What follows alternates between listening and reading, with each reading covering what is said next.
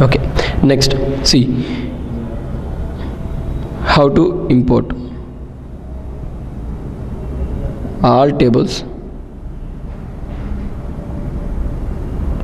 from a uh, specific from a specific database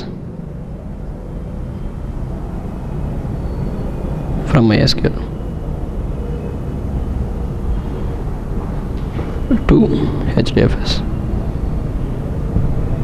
to HDFS see this one. Very very easy. This is also. Just give Sqoop space. You can give import hyphen all hyphen tables. Import hyphen all hyphen tables. Space backward slash. You can happily give what?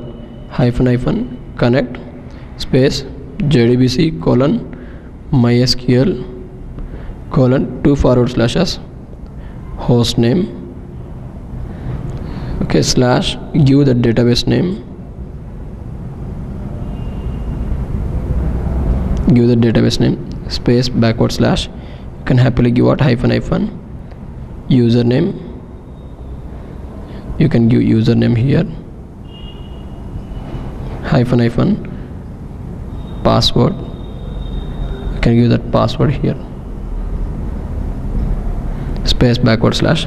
Now see i just wanted to suppose if you may be having 5 tables or 10 tables or 15 tables or 100 tables also. All these tables will be imported into your hdfs one more thing each table may be having any number of fields right? So each and every field should be terminated with some backslash t. For that reason what i'm doing is i will give hyphen hyphen fields hyphen terminated hyphen by. Terminated hyphen by space backward slash t. Space backward slash t. Hyphen hyphen fields hyphen terminated hyphen by backslash t.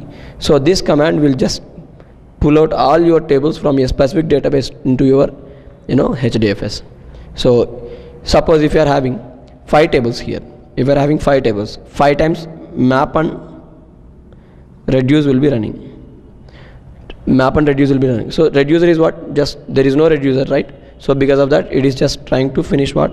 0% only. Even the mapper will be completing for 100% but reducer will complete what? 0% only. Likewise this will happen for 5 times if you are having 5 tables. If you are having 10 tables it will be completed for what? 10 times. Okay it is running with what? Map and reduce for 10 times. So this is actually what? Importing all your tables from your you know specific database. That's it